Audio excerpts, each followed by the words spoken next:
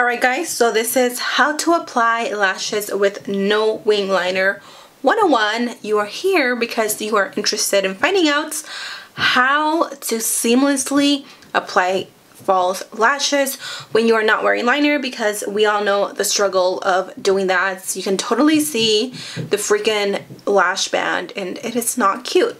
So here are the things you will need. An eyelash curler, some mascara, definitely some little falsies, lash glue, and some tweezers. So the first thing I'm going to do is curl my lashes. I like to start at the very tip and I curl them for about five seconds. One, two, three, four, five. I go in the middle. One, two, three, four, five. And then I go at the very root. Make sure not to pinch yourself.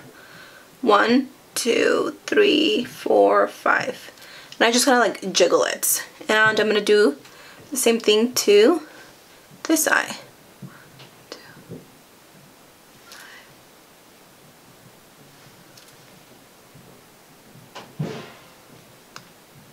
Now I'm going to apply some mascara. Whatever you use is fine. You really don't have to use any fancy mascara because we're going to hide our lashes with the fake ones. So I'm just going to apply a very thin coat of this.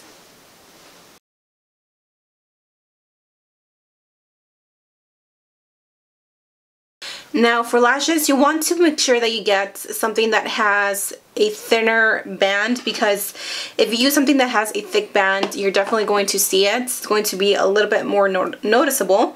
So the ones I'm, I'm going to be using today are these and these are the Vegas Nay shining star lashes so when they are brand new sometimes it's hard to mold them to your eye what I like to do is I like to take them like this and I just kind of twist it like I just go back and forth like this.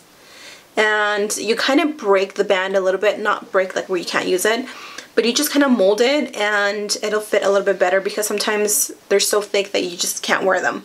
So after you've chosen your eyelashes, you want to make sure that they fit your eye because sometimes they're too long. I have really freaking big ol' ojos, so sometimes they fit perfectly. But what you want to do is you want to make sure first which one goes on the right and which one goes on the left. Believe it or not, it makes a difference. So for example these I've already cut them because I don't have any new lashes to open. Now when you are measuring them just take them out of the box and kind of measure them to your eye. And whatever you see of excess just go ahead and cut it off. You want to make sure that you cut from here like from this end and not the inner corners of where the or the lashes go. Because here they flare out. They go from small and then they flare out to big. So if you chop them from the front they're just going to look weird. So make sure you cut them from the end. Now we're going to apply the glue. This is the Ardell lash grip lash grip at what? Eyelash adhesive glue.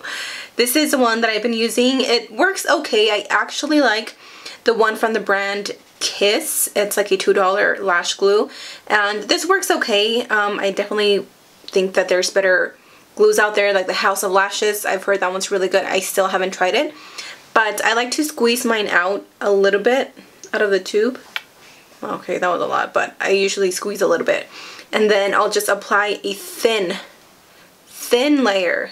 Make sure you're not applying a friggin' big old glob because then it takes forever to dry. Personally, I like to apply my glue one lash at a time. So I'm just going to apply, so as you can see, that's how much glue I put on mine. Hopefully you can see that. Now we're just going to let that dry for about 10-15 seconds. So I'm going to take my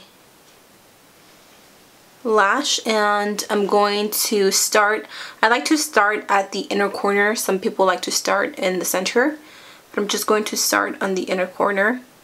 And you want to make sure that you apply it as close as close as possible to the lash line.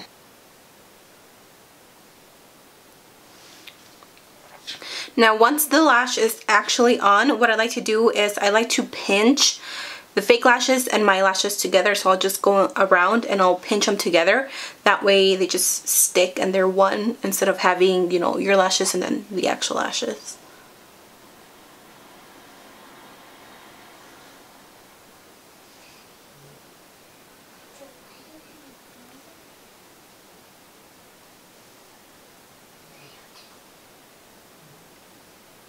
I like to go back with my mascara and I will apply just a little bit more.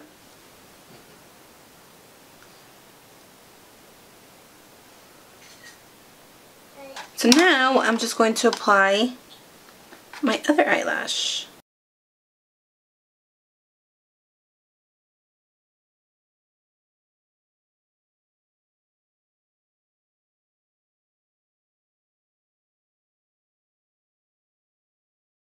Now keep in mind that the thinner the band, again, the more natural your lashes are going to look. So now I'm just quickly going to apply some mascara to my bottom lashes.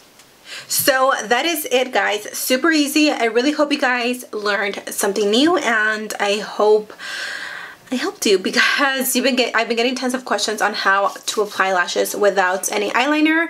So I mean it's not it's not going to look it's not going to look 100% natural and again keep in mind the thinner the band the more natural it is actually going to look. So if you want to try like the Ardell Wispies, those have a super thin line or um, band, so it's going to look very, very natural. These are a little bit on the thicker side. Either way, I hope you guys enjoyed this video. Give it a thumbs up if you did. And that is everything. Thank you guys so much for watching. Don't forget to subscribe if you haven't and to follow me on all my social media links. I will have all the names down below, but they're all at OMG Lashes. I love you guys and I'll see you soon. Bye!